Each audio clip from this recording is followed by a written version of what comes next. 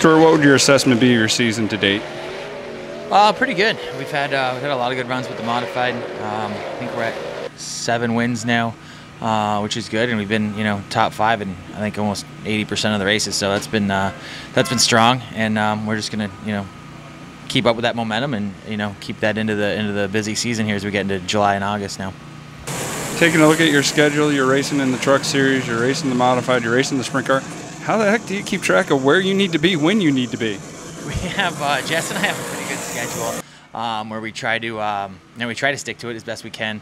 Uh, in years past, we've done um, you know been able to kind of schedule everything out from from uh, you know March all the way to October, November. Um, but this year with the with the truck stuff and, and, the added travel that we're doing with that um, with the Halmar team, we're um, you know just kind of taking it one week at a time, one month at a time. So we're pretty excited. We're going to go back and do uh, Kentucky and Eldora and Pocono with the truck to uh, get through the end of July, and then um, you know we're gonna hit some uh, hit some special sprint car races I think with the Outlaws at uh, at Ransomville and Ohsweken. So we're excited for that, and um, you know all the modified stuff we can fit in in between.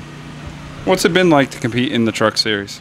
It's been uh, it's been an eye-opening experience. Uh, we've learned a lot uh, about what it takes to compete at that level, and um, you know, we're just uh, we're trying to build something, and we're, we're not you know giving up on it. We took the last two races off, um, Gateway and Iowa, to uh, you know kind of rebuild some stuff that we tore up, and um, you know gear up for the next three races. So.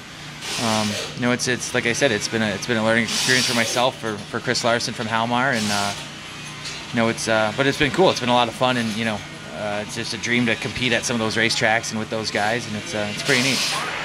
Now you have dipped your hand in the promotional ring before. Uh, any chance that you're going to go back into that, or is, uh, are you finished with that? I think I'm finished with that for the time being. Uh, Brett and I promoted the, you know, the Dirty Jersey race at New Egypt for a couple of years, and um, Brett kind of held it on its own for a year after that. And um, it's it's it's risky, you know, it's uh, very high risk, but you know, if you do it right, you have some great weather. Um, it's high reward too. So um, right now, I have all I can handle. You know, keeping up with the race teams and stuff, and uh, and with you know one ZT's uh, Jess and I's um, screen printing business at home. We're really busy with that and with Parker, so it's um, I got all I can handle right now. The promotion's gonna gonna go on the back burner. Taking a look on the family side, you got a little guy now, Parker. Has that changed your outlook on racing? Do you find yourself maybe driving a little different knowing you got a little guy at home? Boy, I don't know. Um, I've tore up enough stuff with the truck to, to say that I'm, you know, still aggressive as ever. But, um, you know, it, it, changed a little bit, a little bit of the outlook, outlook, and, and, a little bit of the way you approach some of the races.